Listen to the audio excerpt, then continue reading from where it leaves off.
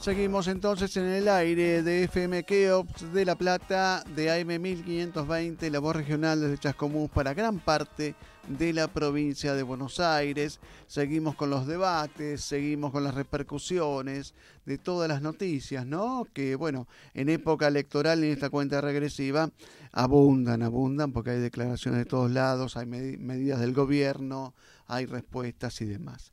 Vamos a repercusiones, vamos a empezar por ahí, después seguiremos por, por otras cuestiones. En este diálogo con un amigo de la casa, que es el diputado provincial liberal Guillermo Castelo. ¿Qué tal, Guillermo? Martín López Latra te saluda. Hola Martín, ¿cómo estás? ¿Cómo anda todo por ahí? Gracias por el llamado. No, gracias a vos. Quería actualizar el tema de, de, la denominación de tu bloque actual. Libre se llama. Libre, libre. Libre. Libre, Libre y es un bloque unipersonal por ahora y que está, digamos, viendo a ver qué pasa en estas elecciones. Eh, ah, bien. éramos un bloque de tres, que ingresamos tres diputados provinciales con la magnífica elección que hizo José Luis Espert en el año 2021, que sacó el 7,5% de los votos a nivel provincial. Pero bueno, después se fue desgajando, ¿no? Porque, eh, digamos, ahí la, cuestión electoral, la, emergencia de mi ley, algunas decisiones eh, del mismo Espert que que terminó, digamos, apoyando una candidatura de la reta que, que a los liberales no, nos causa escosor, terminamos, digamos, en tres bloques distintos, a la espera de, de, ver qué sucede en esta elección. Me parece que es una elección que está abierta y que mm. hay muchas posibilidades también de que ingresen algunos liberales más al, a la Cámara de Diputados y de Senadores Provincial. Claro, claro. Pero vos no te referencias con nadie a nivel nacional por el momento. Con, con nadie a nivel ah, nacional. Eso, quería dejarlo claro. Bueno, Guillermo, entonces, eh, del bloque libre, eh, te quería preguntar en esta repercusión ¿no? del 12,4% de inflación. ¿Qué, qué, qué, qué, te, qué te causa eh, como impresión, primera impresión? Es una catástrofe porque es la, la inflación más alta de los últimos 32 años. Hay que remontarse a una época digamos, en que casi estuvimos al, borde, o estuvimos con, con, hiperinflación, tanto en el 89 como en el 91, ¿no? Una hiperinflación con Alfonsín, otra con Menem, después vino la convertibilidad, pero bueno, eh, desde antes de la convertibilidad que no teníamos una, una inflación de este tipo, que es, es el impuesto a los pobres más que nada, la inflación, ¿no? Y es una estafa, yo siempre lo digo, es una estafa porque es una estafa del gobierno. El gobierno todos los meses te saca el 5, el 6, eh, el 10 o ahora el 12%, 12 y pico. Y el mes que viene va a venir peor esto. Y la única explicación, pese a, digamos, a, las carambolas que hace Massa y el kirchnerismo, que le echan la culpa al Fondo Monetario Internacional, al macrismo, a la sequía o a los formadores de precios, la, única responsabilidad en el aumento, digamos, de, la tasa de inflación es el gobierno. El gobierno es el que tiene la potestad de emitir dinero. Y la emisión de dinero, espurio, sin respaldo, en bienes y servicios, es lo que genera la inflación. Eso lo sabe hasta un niño de, de, de, 10 años, se lo enseña en, digamos, en, la primera clase de, economía de la facultad. Todo el mundo sabe que lo que genera la inflación, la inflación si no lo querés a, corto plazo, a mediano plazo, siempre es la maquinita de imprimir dinero. O sea que el gobierno sigue imprimiendo dinero, sigue desconociendo, digamos, formalmente la causa real que es esta, y, lo, y, y, a esto sumado con el plan platita número 14 que ya lleva este gobierno, eh, de acá a fin de año nos espera más inflación. Yo mm. realmente espero que esto no desemboque en una hiperinflación como el 89-91, mm. pero sí que vamos a tener una inflación más alta que esta, lamentablemente, porque vuelvo a repetir, mm. es un impuesto no, no legislado, o sea, los impuestos tienen que ser legislados por por las cámaras de diputados, senadores, es decir, por Congreso, este es un impuesto no legislado, es decir, es un robo del Poder Ejecutivo a, la, a toda la población y sobre todo a los más pobres, porque perjudica a los más pobres la inflación. Pero bueno, es un gobierno que me parece que ya está de salida, Martín, eh, que mucho más no puede hacer, lo único que hay que hacer es evitar que siga siendo macana. Bueno, eh, Guillermo, te, bueno, te me adelantaste un poco, pero para profundizar en estas respuestas que da el gobierno nacional, un ministro de Economía que anuncia la ampliación del piso de ganancia, que anuncia esta eliminación o reducción del IVA y justamente, digamos que a vos te caería más simpático decir que está todo bien, apoyar, pero bueno, eh, ustedes hablan desde otra perspectiva, ¿no? ¿Cómo lo ves? No, porque, digamos, eh, alguna persona por ahí desinformada o, de mala fe, o que tiene intereses políticos o intereses eh, digamos, sectoriales o económicos, te dirían, no, es bárbaro esto porque sube el mínimo no imponible, la gente va a pagar menos. Pero la gente lo va a terminar pagando con inflación esto, ¿no? No queda otra salida, digamos. Si, digamos, si, si, si se reduce la, el ingreso al fisco de un billón, un billón de pesos, porque se deja de percibir por impuesto a la ganancia o reducción de IVA, digamos, eso lo tiene que cubrir el gobierno. ¿Y cómo lo va a cubrir? Si tiene cerrado los préstamos internacionales, digamos, el crédito interno lo tiene, lo tiene cerrado también, eh, más impuestos no puede subir, al contrario, aparentemente lo está bajando. Eh, digamos, esto, la única forma de compensarlo es dándole la maquinita. Mm. Y dándole la maquinita le va a explotar al próximo gobierno, le va a explotar a este, pero al próximo gobierno va a sufrir, digamos, todo en, su totalidad esta, estos disparates que está haciendo el ministro. Mm. está bien, eh, es quedarnos con, con la parte de arriba del iceberg, ¿no? Decir, está bien esto, está bien una reducción de impuestos. Nosotros, los liberales, venimos bregando por reducción de impuestos. Pero para reducir impuestos hay que, hay que reemplazarlo con algo, digamos. Si no, ¿cómo se reemplaza este, esta, este ingreso que se deja de percibir si no es con la maquinita? Y la maquinita genera inflación, tarde o temprano, o sea que es más de lo mismo. Es una de estas eh, estos conejos de la galera que, que nos tiene acostumbrado Massa de hace 20 años, mm. ¿no? Y que ahora está en su esplendor, porque está en cargo de ministro de Economía, con todos los resortes del gobierno y encima candidato. O sea que tiene para hacer eh, dulce de leche, que es lo que está haciendo en definitiva, ¿no? Todos los días te saca con una, una martingala nueva y la gente no tiene por qué saber, eh, digamos, los costos de esto, los resultados de esto, porque la gente no sabe economía, porque la gente está preocupada por el vivir de todos los días, en llegar a fin de mes, en conseguir la comida para la casa. Entonces la gente no le podemos pedir a la gente que haga una, una reflexión eh, un análisis sobre, sobre digamos, los costos de, esta, de estas medidas demagógicas, ¿no? Pero bueno, yo te lo digo a la gente, los costos va a ser más inflación. El año el mes que viene, en vez de tener 12, vamos a tener 14 y el otro año va a tener 30 y pico. Y así, ¿no? O sea, lo que el gobierno aparentemente te da por un lado, te lo va a sacar por el otro. Perfecto. Estamos conversando con Guillermo Castelos, el diputado provincial del Bloque Liberal aquí en Provincia de Buenos Aires. Te voy a llevar algo un poquito más entretenido justamente porque si no te, te, voy a causar un ataque cardíaco con tanta no, no con las noticias, se va la gente por ahí. No, esto es para reflexión, digamos, estamos combatiendo la siesta hasta ahora, 16, 22 en toda la República Argentina. El tema este que a, muchos periodistas, a mí no me sorprendió tanto por justamente algo había leído del tema, pero ¿qué explicación le encontrás vos como liberal a este tema que este, en, en, capas muy, pero muy pobres de la sociedad hubo un voto a mi ley. Si, si bien vos no te referencias con mi ley, alguna explicación le deberás encontrar, ¿no? A que en sectores muy pobres de la sociedad había un apoyo al menos a ideas liberales. ¿Cómo lo viste esto? Yo no sé ahí si son, ojalá fuera así, ¿no? Yo como liberal me encantaría que nuestras ideas penetren en todos los sectores sociales, pero yo no sé si ahí en los sectores más, más pobres o más excluidos. No sé si el voto a mi ley se explica por una cuestión ideológica. Yo eso tengo alguna duda ahí.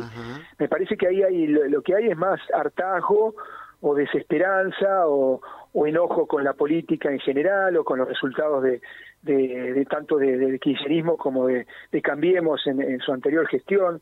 Me parece que la gente ahí está buscando algo distinto, ¿no? Mm. Y, eh, algo que no apareció en el 2001. En el 2001 también había una, una situación así de, de desasosiego, de bronca, de enojo y demás, pero no mm. apareció un referente en su momento con la fuerza como para para llevarse, digamos, esos votos, ¿no?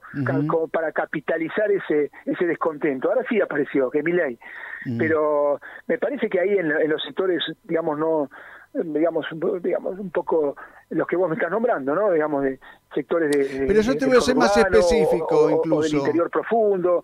Me parece que ahí debe haber otro tipo, mm. no no lo tengo analizado, pero me parece que ahí debe haber otro tipo de, de digamos, de, de explicación del voto a mi ley, que no mm. es el de las clases medias de las ciudades, donde por ahí ahí sí eh, el tema este de no solo el liberalismo, sino de controlar al Estado, del Estado elefantiásico, del Estado presente que no te presta ningún servicio, eh, del Estado que te mete regulaciones, que te pone, digamos, trabas por todos lados. Ahí sí está pegando, digamos, la, la, el, mensaje liberal de mi ley. Ahora en los sectores más postergados yo no, no, no, no creo que sea así. Ah, bueno.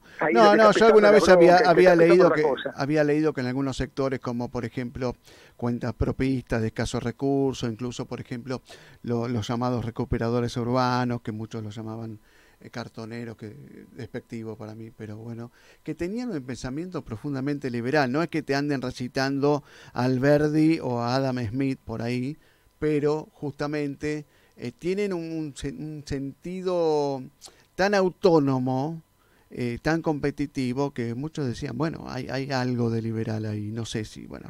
Sí, es, probable, es probable que sí, que buceando un poco en el fondo puede, puede existir eso, las ganas de que el Estado te deje, digamos, de meterte la pata encima y te deje hacer, en definitiva. Que no te proteja más, ¿no? Entre comillas. Eh, que no se meta más con tus cosas, que te deje... Mira, eh, algo parecido a eso, sin ir tan bajo en la escala social, pero uno cuando yo había, he hablado bastante cuando nos opusimos desde el primer momento a, esta ley de, regulación de los deliveries, ¿no? Sí, bueno, los chicos que hacen delivery son chicos, digamos, muchos de clase clase media baja, ¿no? Que no tienen otro recurso que por ahí una bicicleta, una moto, ¿no? solamente eso tienen de capital. Yo he hablado con varios de ellos, justamente para, para ver qué pensaban de estas regulaciones que quiere meter el gobierno, y están todos en contra, en definitiva. Y lo que te dicen es eso mismo. Nosotros queremos competir, digamos, que nos dejen trabajar, que no nos que no nos sindicalicen, que no nos metan la mano al bolsillo. Solo queremos que el Estado no, no, no nos ponga la pata encima. Es eso, digamos.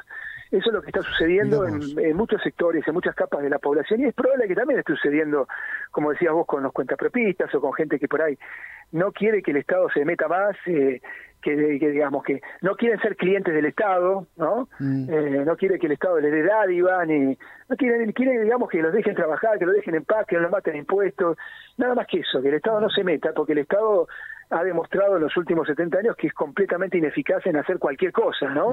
Entonces ahí está, me parece que puede estar también, es verdad, eso pegando un poquito, no el discurso de Adam Smith o de Rothbard o de Milton Friedman, sino eh, algunas consecuencias que la gente está viendo todos los días de que el Estado está desaparecido y que mejora, mejora digamos, eh, para tener un Estado así, que te mata impuestos, que saca el 50% de lo que vos producís, y de lo que ganas, en definitiva, mejor que no haya Estado o que haya el Estado mínimo y, y a mí me dejen, me dejen, digamos, producir sin regulaciones, sin trabas y demás. Es probable que esté pasando eso también.